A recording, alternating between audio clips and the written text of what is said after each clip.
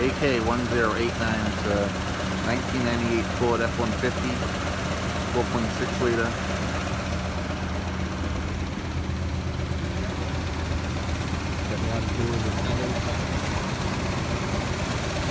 Good.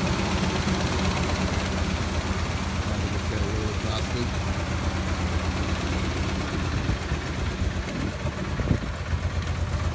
on this truck.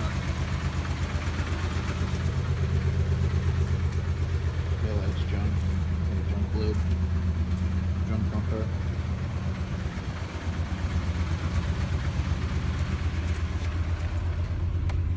Truck has 228k.